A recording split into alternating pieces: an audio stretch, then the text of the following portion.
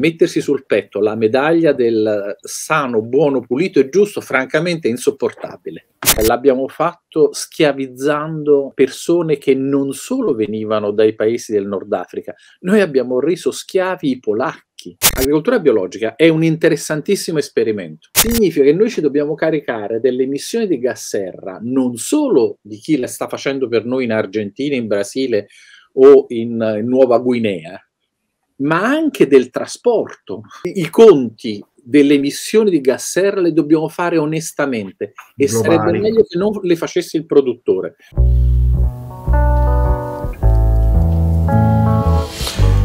Visto e considerato che lo si reputa per certi versi ancora un settore di nicchia, Visto e considerato che non siamo certi di mettere nel carrello un qualcosa di realmente biologico, anche quando c'è sopra scritto bio, e che molta gente, noi compresi, diciamo, ha molta confusione a riguardo, possiamo dire che il livello di informazione relativo al tema è proporzionalmente inferiore alla sua importanza. Ecco perché noi vogliamo fare chiarezza, ecco perché gli dedichiamo un episodio del nostro podcast.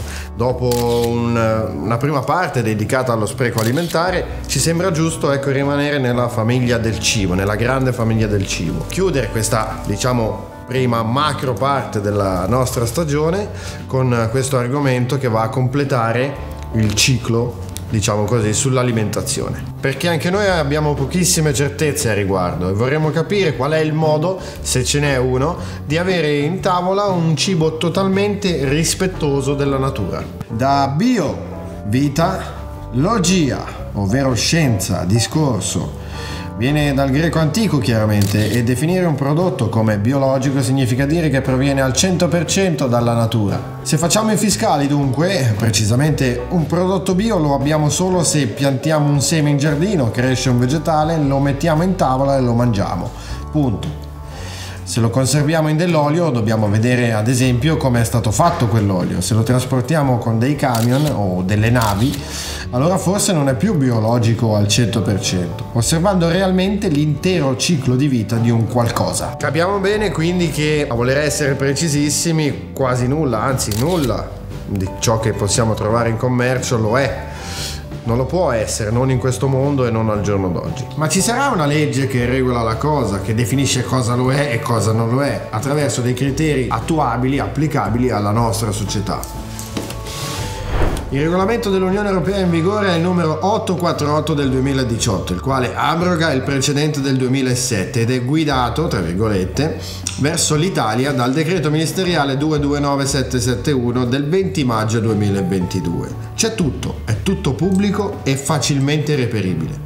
E c'è tutto anche in materia di regolamentazioni. È un mattone di roba per usare un gergo tecnico, in cui viene regolato e spiegato qualsiasi aspetto, viene precisato persino come si può, e giustamente anche come si può e come non si può, pubblicizzare un prodotto bio. C'è qualche punto che è perlomeno interpretabile, diciamo. Pagina 57, allegato 2, parte 1, norme di produzione vegetale.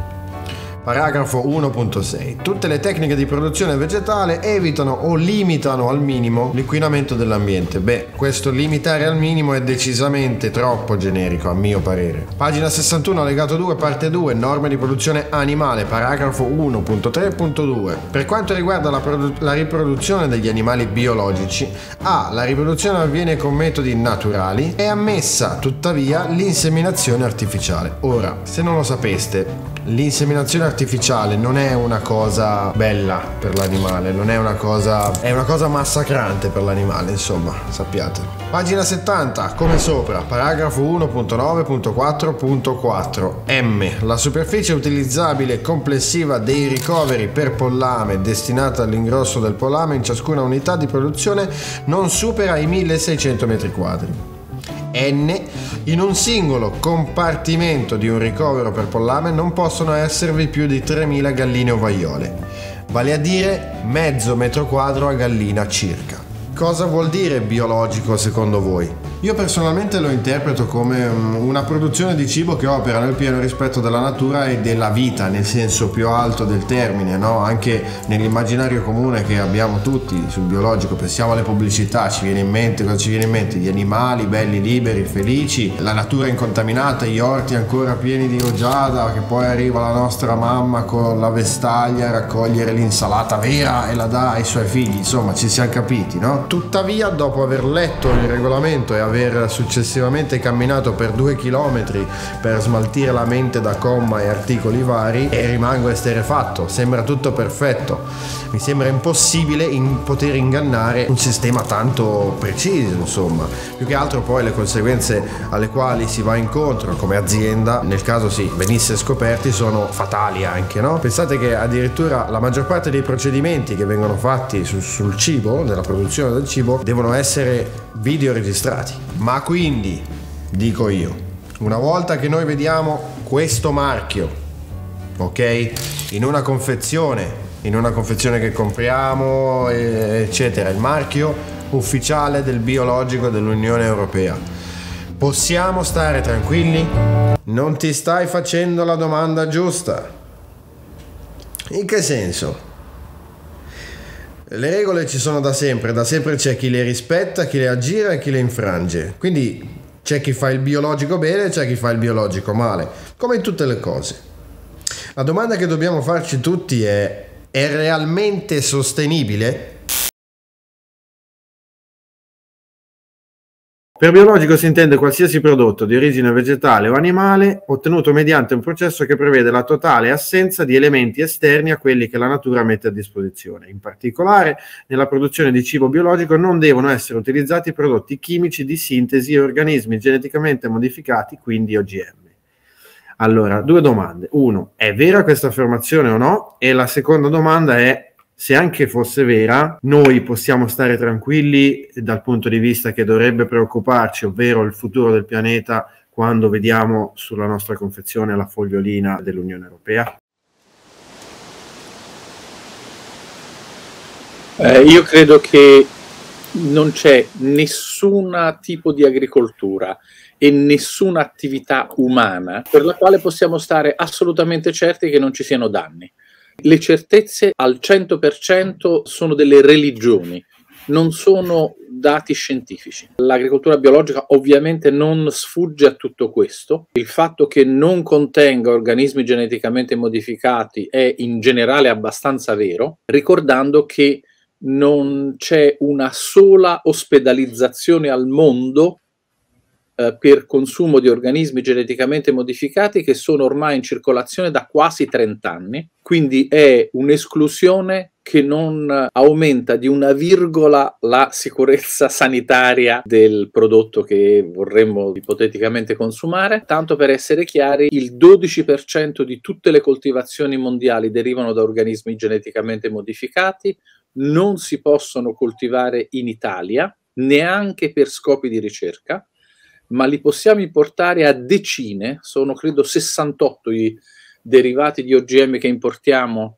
in Europa e in Italia, autorizzati eh, anche per il consumo umano. Considerate che l'Italia importa e consuma tutti i giorni 10.000 tonnellate di soia geneticamente modificata, 365 giorni l'anno, ogni, ogni giorno 10.000 tonnellate, quindi in pratica non c'è yogurt, carne, latte, salume o, o, quant'altro che non derivi da animali nutriti con OGM e ivi incluso tutti i prodotti più prestigiosi, cioè tutti i prodotti di alta gamma, quelli doppi, GP, sono tutti fatti eh, alimentando con OGM eh, eh, gli animali.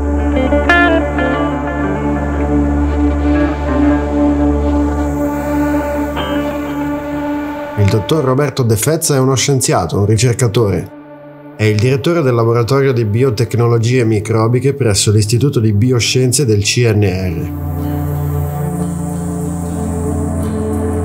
Autore di svariate pubblicazioni e brevetti, fondatore di salmone.org, un sito, un portale, un blog, una community che parla di scienza e alimenta il dibattito nella scienza.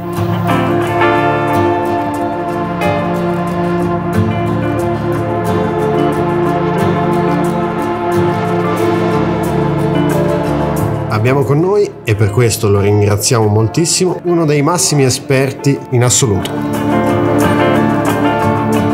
Praticamente tutto il cotone che abbiamo deriva da cotone geneticamente modificato, perché Cina, India e Stati Uniti per il 95% fanno cotone OGM e noi mettiamo cotone geneticamente modificato a contatto con il circolo sanguigno. Quindi chi ha mai fatto un test allergico sa che ci facciamo un graffietto, ci mettiamo una sostanza e vediamo se reagisce. Ecco, tutto il cotone, il cotone idrofilo, quello per chirurgia, ma anche eh, il vestiario, ma anche mm-hmm. i, le banconote, le banconote che abbiamo in tasca sono fatte su trama di cotone.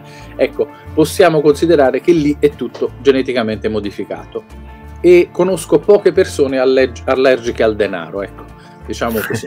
Questo per la parte OGM. Per okay. la parte sintesi, perché lei giustamente stava distinguendo e, e, dicendo cosa non ci deve essere, lì è estremamente opinabile la questione. Il principale fungicida eh, utilizzato in agricoltura biologica è ossido di rame, la cosiddetta poltiglia bordolese. Ora che mi si dica che la natura ci mette a disposizione ossido di rame mi sembra un po' forzata come, come, affermazione. La natura in teoria non ci mette a disposizione proprio nulla. La natura non ha mai pensato di farci da supermercato. Siamo noi che ci andiamo a prendere prodotti eh, dalla natura e li usiamo per quello che ci può servire. Che poi purifichiamo il principio attivo, questa sarebbe la chimica oppure lo prendiamo tal quale, così com'è, da qualche parte, francamente a me sembra poco rilevante. Tanto per essere chiari, un'aspirina è fatta di acido, acido acetilsalicilico. La differenza è se vogliamo solo l'acido acetilsalicilico o ci vogliamo prendere la corteccia di un salice in cui tra le tante cose fastidiose c'è anche un po' di acido acetilsalicilico che viene proprio dal salice. Quindi, eh, come dire, capisco il principio, capisco la, la, la ragione per la quale nasce l'esigenza di ridurre l'impatto della chimica in agricoltura, concordo sul fatto che ci sono stati enormi eccessi di impiego di prodotti chimici in passato, quindi una spinta alla riduzione di eh, eccessivi dosaggi andava fatta perché negli anni 70 e 80 ne abbiamo usati troppo e troppo male e chi ci è andato di, sotto, di mezzo sono stati soprattutto gli agricoltori che li spargevano. Eh, da allora adesso, anche grazie all'istituzione dei principi di agricoltura biologica, si sono fatti passi in avanti giganteschi, sono state eliminate decine di migliaia di prodotti chimici, ma soprattutto c'è un prefiltro prima che il prodotto arrivi sul sul banco del supermercato, diciamo, sono le stesse aziende che raccolgono i prodotti eh, agricoli eh, che fanno analisi e le fanno per davvero seriamente. Eh, le fanno davvero seriamente perché eh, se ci arrivasse un, un, alimento, immaginate una pasta inquinata, sarebbe l'intera azienda produttrice che eh, avrebbe un danno commerciale monumentale. Quindi la pressione a che i prodotti rispettino certe normative è enorme e questo ha innescato un aspetti, una serie di aspetti virtuosi da parte proprio delle aziende produttrici che hanno ridotto sia l'utilizzo ma soprattutto la presenza come residui, perché in fondo è questo quello che ci potrebbe arrivare. Tanto per dirne una, 15 anni fa eh, potevo andare da un qualunque consorzio agrario a prendere qualunque tipo di eh, prodotto chimico, adesso per utilizzare i prodotti chimici in agricoltura serve un patentino, quindi sono trattati come dei farmaci con prescrizione medica. Ecco, c'è un'evoluzione per cui far finta che nulla è successo negli ultimi 40 anni è veramente un modo più per autopromuovere la propria mm-hmm. immagine che non per garantire il consumatore. L'ultima notazione vorrei che tutti riflettessero sul fatto che a mia conoscenza non c'è nessun prodotto da agricoltura biologica noto perché è da agricoltura biologica. Cioè in realtà sto dicendo eh, parmigiano reggiano, grana padano, prosciutto di Parma, San Daniele sono tutti non biologici. Si vendono perché sono buoni. Io sono certo. un grande consumatore di tutte queste cose. Ma non c'è l'analogo che è particolarmente, come dire, apprezzato e prestigioso perché è biologico. In realtà diventa una specie di marchio per, per promuovere il prodotto e per ispirarlo a una certa logica, a una certa filosofia di vita, insomma. Ho visto che effettivamente ci sono regole super ferre, sono veramente grandissimi i controlli che vengono fatti appunto nei confronti del cibo biologico. Però appunto quello che dico io è sotto il punto di vista della sostenibilità ambientale, è il biologico il futuro? Nel senso, la gente secondo me, onestamente glielo dico, compra eh, il cibo biologico perché vede il marchietto e dice, vede la scritta bio e dice oh faccio del bene al pianeta. In realtà secondo lei questo è vero o non è vero? Adesso le dico una serie di cose eh, però prima di dirglielo le, le, dico che il primo articolo che io pubblico su queste vicende è del gennaio del 2001 sul Corriere della Sera. Da allora io ho fatto sette audizioni parlamentari due audizioni in consigli regionali, diciamo non tutte le volte perché non tutte le volte era questo l'argomento, ma diverse volte io lascio dei documenti scritti in audizione, eh, io continuo a insistere su un concetto che spero resti chiaro e limpido. Allora, in agricoltura biologica non si possono usare prodotti di sintesi cioè fertilizzanti di sintesi in questo caso, cosa che ha alcuni aspetti più che ragionevoli, nel senso che un uso eccessivo di alcuni fertilizzanti di sintesi deriva dall'utilizzo di, eh, diciamo, di derivati di idrocarburi, quindi di sostanze fossili non rinnovabili. E questo è un grande problema, ma se io dovessi fare il bilancio di quello che io considero di gran lunga il primo problema che abbiamo di fronte, ossia le emissioni di gas a effetto serra, no, non ho nessun dubbio che questo è il più grave problema che abbiamo di fronte, francamente utilizzerei i fertilizzanti di sintesi. Perché che cosa viene usato in agricoltura biologica per non usare i fertilizzanti di sintesi? Che ripeto hanno un forte impatto sia con emissioni di CO2 sia con emissioni di ossidi di azoto che sono altrettanto complessi. Usano o letami, ma soprattutto usano farine animali. Allora, farine animali significa che tutto quello che viene scartato agli animali, pelle, organi interni, sangue, zoccoli, corna e tutto quello che non viene utilizzato viene asciugato, ridotto in, quindi cotto, ridotto in farina, triturato e utilizzato come fertilizzante in agricoltura biologica. Allora, qual è l'emissione di tutto questo? Diciamo, in parte deriva da bovini, che è di gran lunga la sorgente peggiore, quindi se dovete prendere una fettina di carne cercate di prenderla di pollo e non di bovino, sotto ma molto più, meno inquinante è un maiale, molto meno eh, capra e, e, pollo. Se però partiamo veramente da una vacca, okay. allora bisogna alimentare la vacca e come ho appena finito di dire, la gran parte della dieta di una vacca è eh, farina di soia geneticamente modificata, ne mangia fino a 3 kg al giorno, più 11 kg di mais e mais è per un quarto geneticamente modificata nel commercio mondiale. Quindi bisogna alimentarla per tutti i mesi. Dopodiché vengono fatte le ossa, vengono fatte le corna, vengono fatte la... Tutto questo scarto finisce in un termovalorizzatore, se vogliamo. Dopo però che abbiamo fatto le due principali emissioni di gas serra, ossia la fermentazione enterica e le emissioni di, le, di gas serra dal letame. A quel punto abbiamo prodotto in realtà proteine, perché quello che manca nella fertilizzazione eh, è azoto. Le proteine, tutte le proteine di qualunque organismo vivente, sono fatte da amminoacidi. Gli amminoacidi sono tutti gli stessi, dal virus del Covid alla balena, sono sempre gli stessi 20 amminoacidi più o meno. Gli amminoacidi, lo dice la parola stessa, sono amminoacidi. La parte ammino vuol dire azoto c'è un atomo di azoto. Quindi la ragione di prendere le farine animali è per dare azoto sostanzialmente alle piante. Allora c'è la nutrizione della vacca, l'emissione dei batteri enterici, le emissioni di gas serra dai letami e queste cose la FAO, la FAO in un, un articolo scientifico di due mesi fa le elenca come maggior emettitori di gas serra più dei, fer- più dei fertilizzanti sintetici. Sono il maggior emettitore di gas serra in, in scala mondiale proprio? Esattamente. Ok. Quindi diciamo, noi non stiamo scegliendo fra il bene e il male, questo vorrei che fosse chiaro, stiamo scegliendo tra due danni, tra due mali, okay. tra okay. due cose che non vanno bene, ma stiamo cercando di capire chi fa più o meno danni. Potenzialmente non vorremmo nessuna delle due.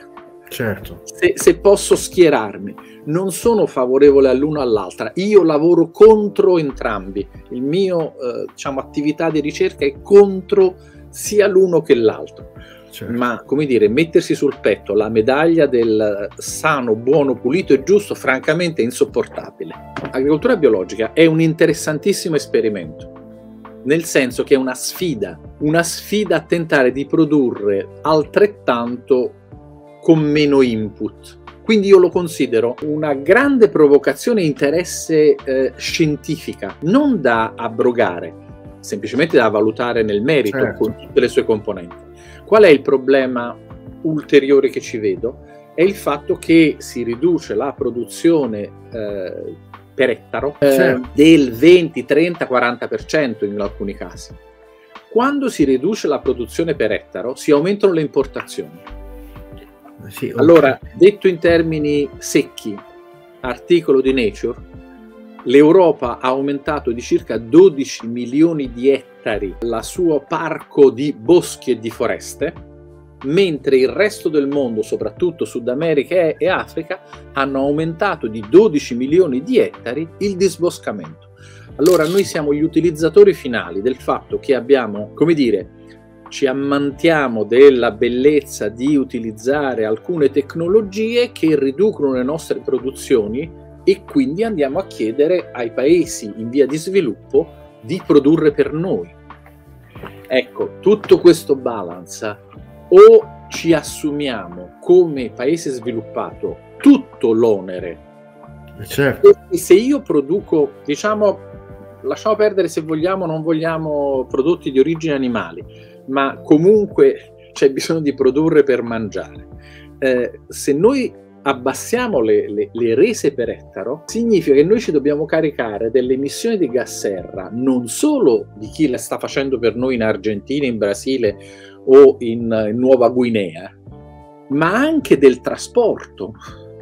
Assolutamente ecco, sì. Noi i conti delle emissioni di gas serra le dobbiamo fare onestamente e Globali. sarebbe meglio che non le facesse il produttore, che ci vorrebbe una, eh un ente terzo che fa i, le misure e che dice ok, tu vuoi questo, costa tanto. e poi per la maggior parte è soia, no? E quindi per la maggior parte è, è, è cibo animale. Allora, l'abbiamo visto col grano, il grano che ci viene dall'Ucraina e mm. ci ha messo in, in enormi difficoltà eh, l'olio di girasole che è sempre ucraino e siamo andati in carenza. Chi va a fare la spesa al supermercato ha visto che improvvisamente eh, l'olio di girasole, che era un olio estremamente economico, a poco sì. più di un euro al litro, adesso costa quanto e più dell'olio di mais. Ma quello è guerra in Ucraina. Certo, certo. E, e, va tutto così quando si è bloccata il canale di Suez perché quella nave gigantesca porta container si è arenata per sei giorni, noi siamo andati in, in panico perché ci stavano arrivando dalla Cina e dal Vietnam 70.000 tonnellate di conserva di pomodoro. Allora, eh, questa cosa che tutto è bello perché è fatto in Italia, eh, come dire, è bello per chi lo vende, sì, ma sì, non esatto, sta non esiste. in piedi da nessuna parte. L'Europa ha scelto di coltivare poco, di produrre meno, di importare tantissimo e questa cosa noi ce la dobbiamo raccontare per, come dire, per, per quello che non va bene in questa vicenda, perché quando il prezzo del grano, come è successo ormai tre volte negli ultimi 15 anni, aumenta di due, qualche volta tre volte. È successo quando c'è stata la crisi dei mutui subprime. Okay, grano e riso sono aumentati due volte mezzo, tre. Poi il risuccesso nel 2011-2012 sono scoppiate le primavere arabe su, quella, su quell'aumento dei prezzi. Adesso sta succedendo per, la, per l'Ucraina. Quando succede una cosa del genere, a noi la pasta o la farina ci aumentano di 5-10 centesimi, ma nemmeno, qualche volta non aumentano neanche di una lira perché è un prezzo irrisorio quello della materia prima. Ma noi stiamo andando a comprare a due o tre volte il prezzo riso e grano in posti dove quello è l'alimento base e chi lo produce localmente preferisce venderlo a noi che darlo, come dire, al prezzo normale alla popolazione locale. Quando ci sono state le, le, le proteste di piazza per le primavere arabe, ci sono stati 29 paesi al mondo che hanno fatto scioperi e, e blocchi delle esportazioni perché non gli arrivava più il cibo a loro. Cioè, noi siamo gli attori forti e ricchi in uno scenario in cui per noi i centesimi non esistono più, i, i due centesimi li buttiamo via, i cinque centesimi non sappiamo cosa siano ormai, ma per loro sono, come dire, pane quotidiano. Noi sì. giochiamo questa partita da ricconi, anche se ci consideriamo, come dire, l'ultima ruota del carro andando un po' anche a pensare a, umanamente a tutte queste cose. Io questo ragionamento che volevo condividere con lei, ovvero ieri ci pensavo giusto, parlando proprio di, di, di, di sbagliata importanza che diamo al cibo, secondo me no, noi, pensavo che io spendo 30 euro al mese in frutta ormai. E io spendo anche, mi piace la Formula 1 e la MotoGP, spendo 30 euro al mese anche in Sky. E pensavo che a me mi viene naturale pensare che costa tanto la frutta, non che costa tanto Sky però è sbagliato forse, no? Secondo lei? Allora, noi dobbiamo accettare l'idea che frutta a bassissimo costo significa finire per doverla importare dall'estero perché la nostra manodopera costa cifre inaudite rispetto a quella che possiamo ottenere e far arrivare dal, dire, da molto lontano. Certo. I prezzi della raccolta di molta frutta ma molta verdura, dalle clementine ai pomodori noi, e sto parlando del sud Italia, l'abbiamo fatto schiavizzando persone che non solo venivano dai paesi del Nord Africa, noi abbiamo reso schiavi i polacchi. Noi li abbiamo pagati 2-3 euro al giorno per lavorare 11-12 ore. L'agricoltura purtroppo eh, continua a vivere di eh, carenza di controlli e di scarsa meccanizzazione soprattutto nel sud Italia. Per fortuna nel nord Italia la situazione è già molto migliore, ma non meccanizzare significa avere la necessità di lavoro nero e di lavoro, diciamo, di caporalato. Ogni tanto ci facciamo finta che ce lo ricordiamo, che ce ne accorgiamo, che il lavoro di agricoltura è un lavoro da imprenditori, non è un lavoro da contadini. Se vogliamo arrivare a vendere alla grande distribuzione, la grande distribuzione vuole prodotti standardizzati che arrivano sicuri, che arrivano con quei tempi, con quelle modalità. Non possono avere roba che marcisce sul, negli scaffali e questo impedisce di avere tanta eh, parte di agricoltura lasciata, come dire, a, co- come natura la crea. Ecco, come natura la crea non funzionerà mai per la grande distribuzione perché devono passare in continuazione a vedere cos'è che, che, sta marcendo. Un qualunque attacco di un qualunque parassita innesca un processo per cui l'intera cassetta poi diventa un problema. Noi siamo abituati a avere prodotti di altissima qualità, devono essere belli, lucenti, colorati, attraenti, immacolati. Ed economici. Immacolato e protetto da tutte le aggressioni esterne. Significa protetto non solo dai parassiti con gli insetticidi, e guardate che ci sono insetticidi biologici che funzionano una meraviglia anche contro le api, vietati del loro utilizzo perché sono insetticidi. Un insetticida ammazza gli insetti, non è che fa eh, rose e certo. fiori.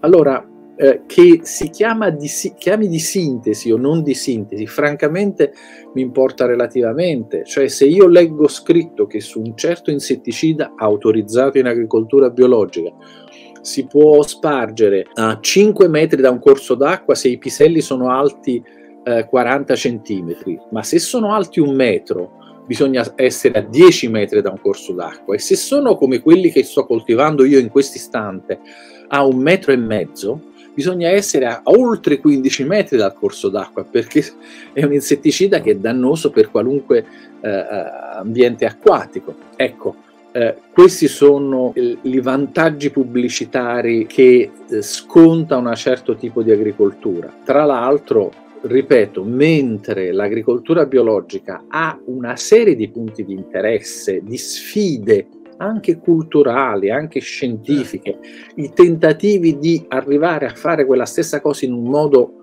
come dire, meno impattante, evitando di utilizzare troppe cose. Gli OGM nascono per questo, perché noi passiamo sui campi con gli insetticidi che ammazzano non solo il parassita del mais, ma anche le farfalle, le formiche, le coccinelle.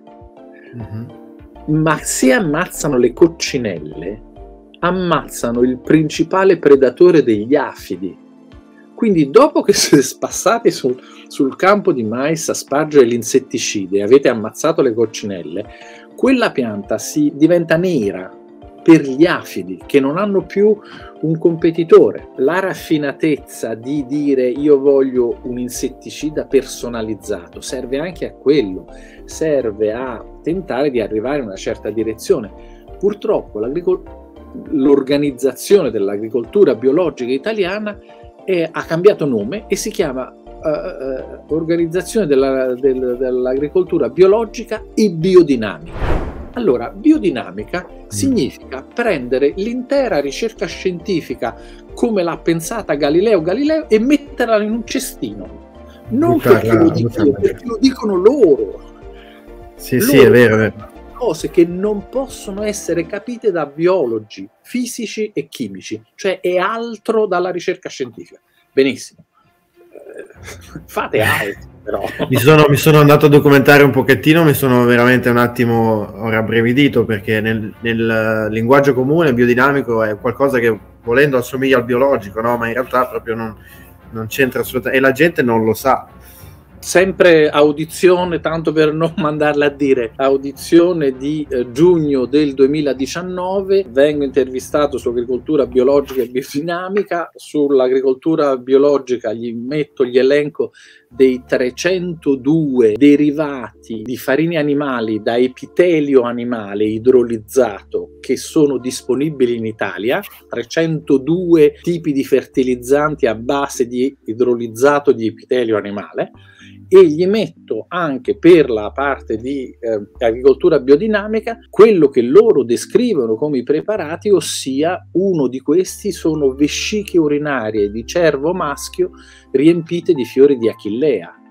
Ecco, io che sono certo che non li usa più nessuno, perché nessuno si metterebbe a fare un'operazione del genere, però se loro non dichiarano e non dicono guardate che quello che ha detto quel signore che se l'ha inventata sono baggianate, sono eh, follie, sì. non sì, hanno sì. nessun livello di ragionevolezza, ma eh, sono una religione mascherata. E io devo continuare a raccontare che le vesciche urinarie di cervo maschio servono per queste cose. Non so come fare, non è colpa mia.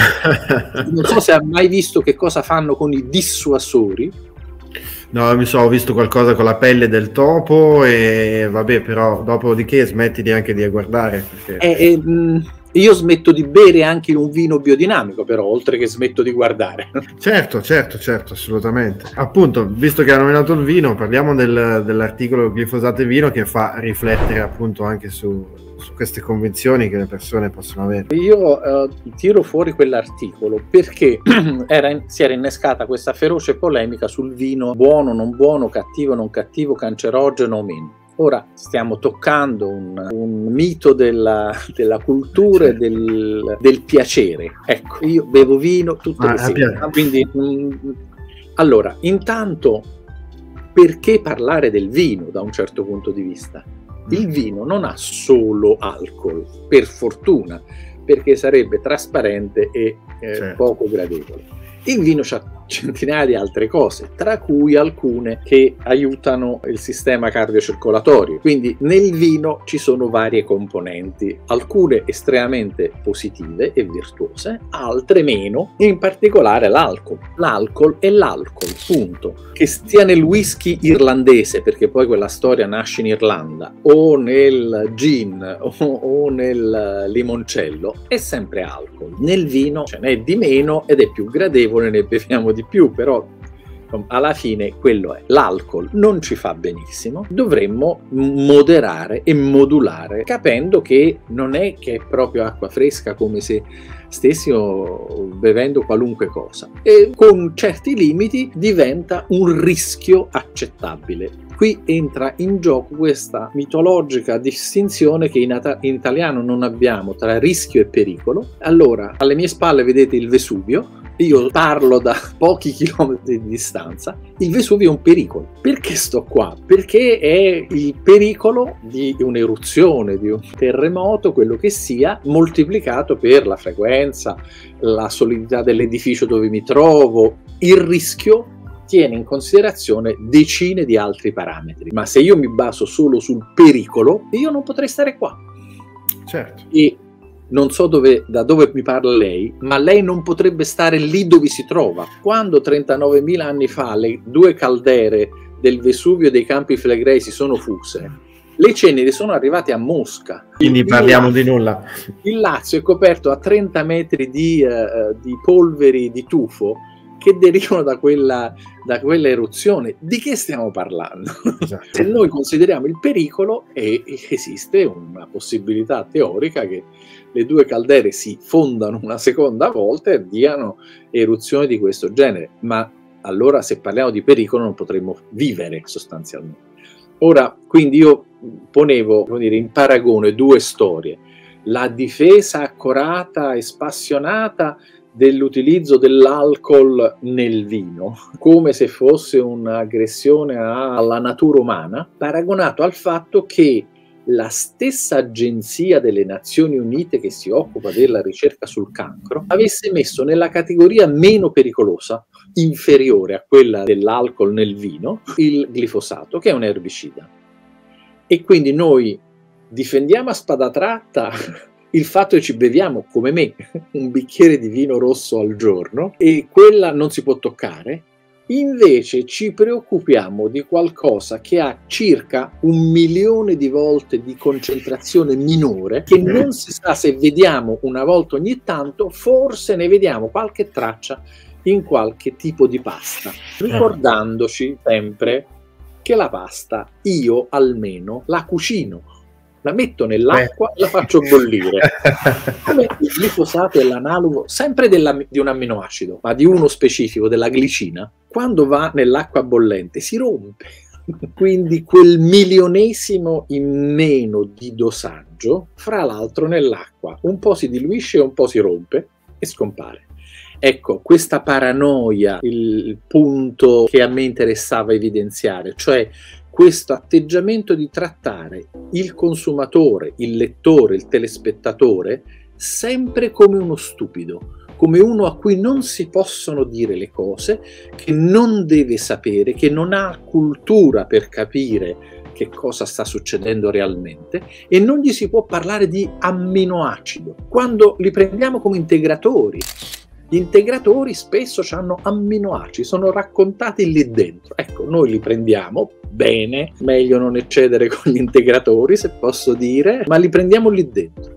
Ecco, perché non usare questa cultura che ci arriva da qualcosa che noi consideriamo benefica e tradurla in tutti i pezzi, perché il glifosato è l'analogo di una di un amminoacido, della glicina, ma anche la storia delle proteine con le farine animali, sempre deriva dalla stessa vicenda. Ecco, io penso che quando leggo un articolo in inglese del New York Times, non tratta i, i, i lettori nello stesso modo in cui noi sui giornali, in televisione, trattiamo i telespettatori o i, o i lettori eh, li tratta persone evoluti. Quando parla di DNA, ne parla come si parla a gente a cui il DNA è stato raccontato da 20 anni, da 30 anni. Molto spesso la ricerca scientifica l'ha fatto tante volte va troppo veloce per quanto il pubblico possa accettarlo. Secondo me la vicenda degli OGM è soprattutto questo, è una distanza tra il percepito della ricerca e un percepito del pubblico. Sì. E noi con questa cosa non possiamo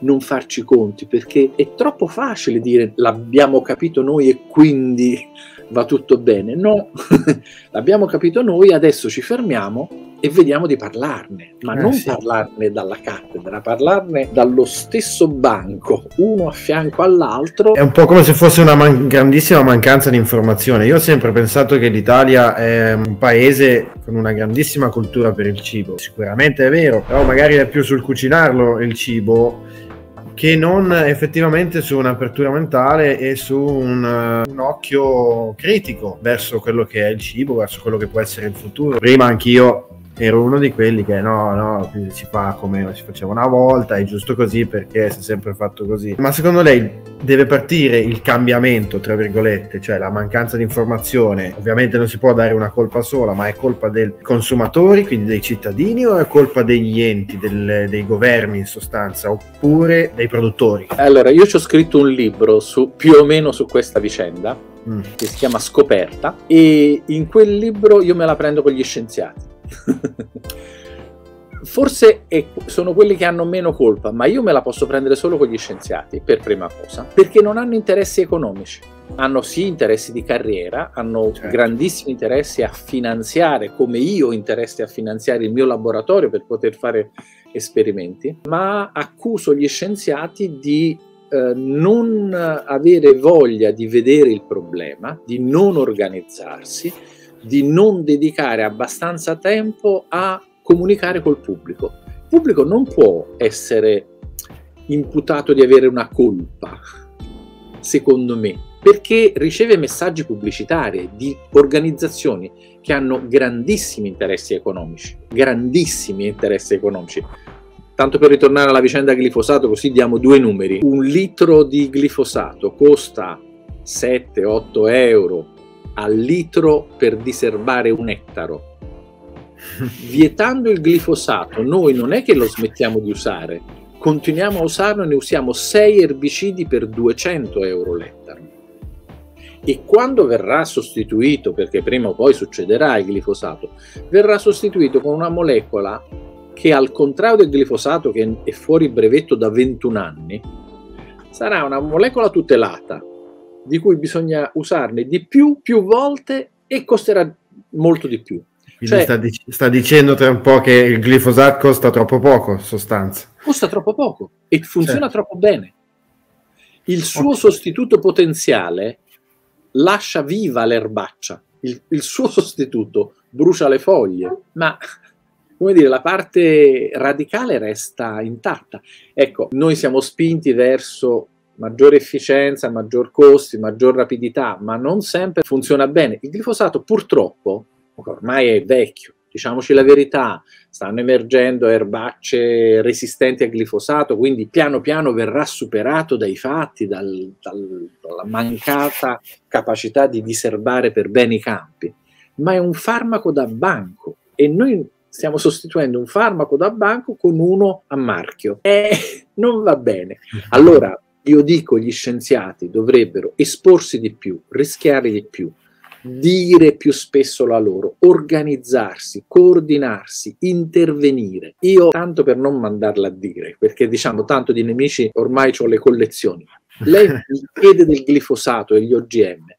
Quanti documenti dell'Accademia dei Lincei ha letto su questo tema? Perché l'Accademia dei Lincei non tira fuori due volte alla settimana un documento su tutte le emergenze che abbiamo sanitarie e scientifiche in questo paese.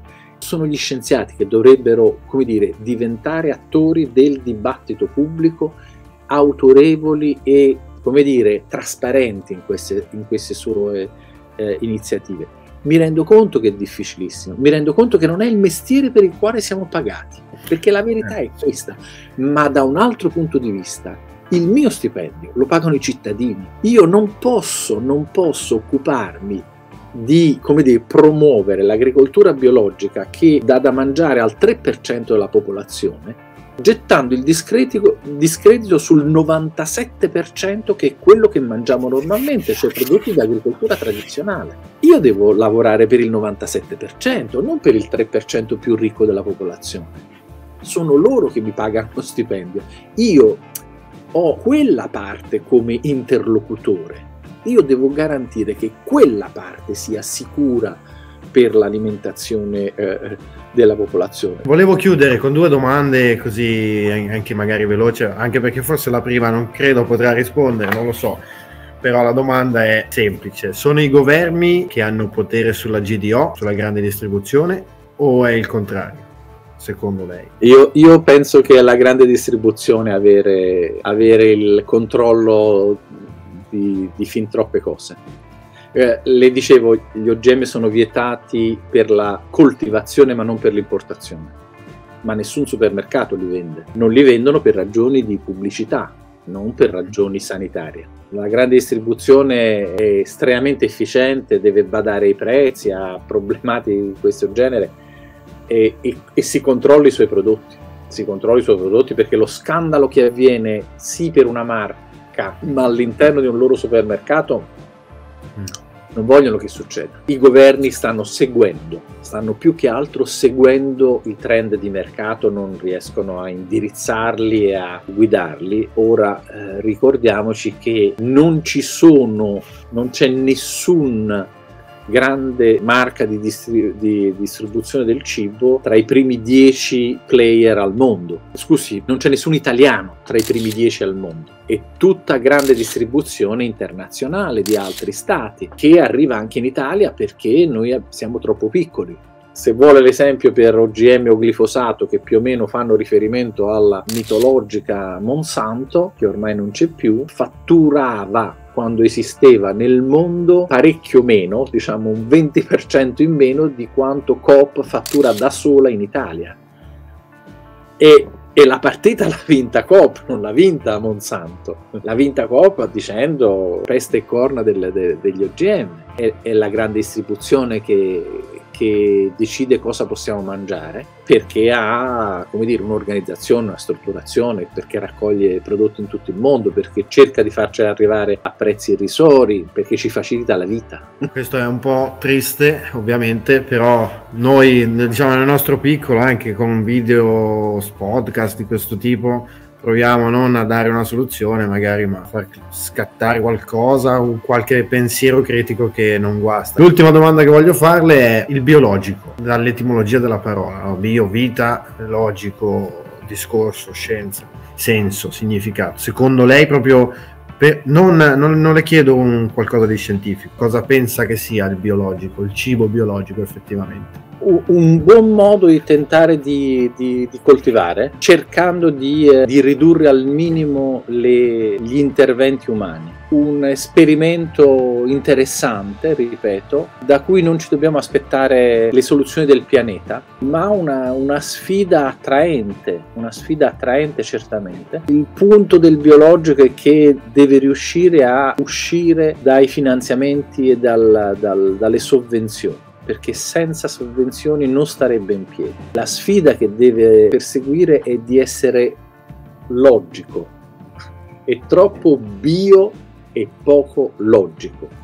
Un prodotto a rilascio lento è meglio, sto parlando proprio dell'ossido di rame di, della poltiglia bordolese, è meglio che dare tre volte poltiglia bordolese meglio avere quel rame in dosaggi minori ma che viene, come dire, rilasciato nel tempo, piuttosto che pensare che non posso avere sostanze che fanno un rilascio lento della, della, componente. Ecco, un po' meno ideologia. Io capisco che all'inizio hanno dovuto, come dire, porre una barriera proprio noi e loro ora forse un'età di maturità in cui scelgono alcune cose, non mm-hmm. tutte, ma alcune cose su una base, come dire, sperimentale e la giustificano perché questo sì e quello no. Io credo che potrebbe essere un modo per aumentare l'efficienza e ridurre gli inquinamenti, perché tanta poltiglia bordolese, tanto rame nei, nei terreni ammazza i batteri, ammazza la flora microbica, rende sterili i terreni, brucia tutto,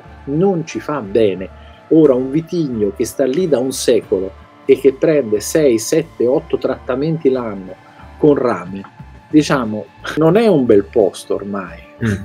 Il rame non se ne va dopo un secolo, eh? allora un po' più di, come dire, di uscita da un fideismo potrebbe essere una buona cosa, eh, senza finire come finisco io, che non faccio nulla sul mio orto e i bruchi della cavolaria si stanno mangiando verze e cavoli allegramente. Ecco, non finite come finisco io, eh, però insomma qualcosa per fermare la cavolaria serve perché quella pianta se no non produce.